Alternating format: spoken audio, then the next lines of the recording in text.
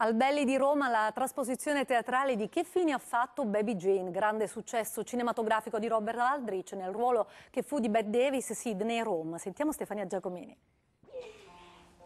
Beh, io sono Baby Jane Hudson. Eppur ritornano Sidney Rome nei panni di Baby Jane.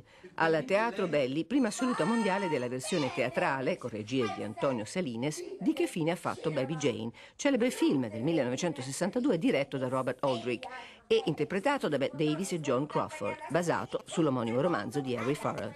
Lo spettacolo, seppur con tempi diversi da quelli cinematografici, interessa il pubblico per la capacità espressiva della protagonista Sidney Rome, attrice americana in Italia dagli anni 70, diversi film al suo attivo, l'ultimo nel 2010 ne Il figlio più piccolo di Pupi Avati con Laura Morante e tanti varietà televisivi, ma molti di noi la ricordano sull'onda del successo negli Stati Uniti di Jane Fonda per aver lanciato nel 1983 in tutta Europa corsi di ginnastica aerobica. Io cercavo di dirlo in vano che io non avrei mai potuto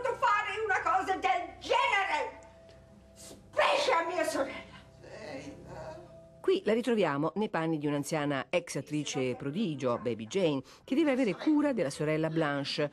Una volta anche lei attrice di successo, ora paralizzata per un incidente, interpretata dalla brava Francesca Bianco. Fatto che lega le due per sempre e che sarà fonte di dolore e sorprendente verità. Validi anche Fabrizio Barbone e Asciai Lombardo Arop.